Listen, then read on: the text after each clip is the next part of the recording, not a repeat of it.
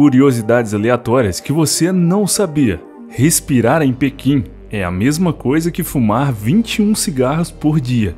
Dormir para o lado direito faz você pegar no sono mais rapidamente. Se você faz as outras pessoas rirem, você tem uma inteligência acima da média. E se você deixar o like nesse vídeo, você vai receber um presente de alguém.